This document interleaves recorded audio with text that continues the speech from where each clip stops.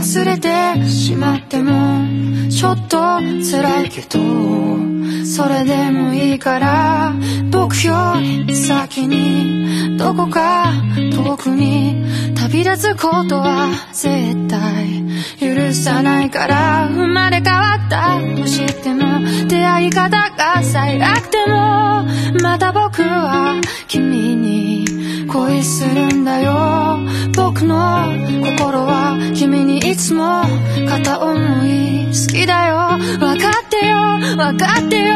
分かってよ。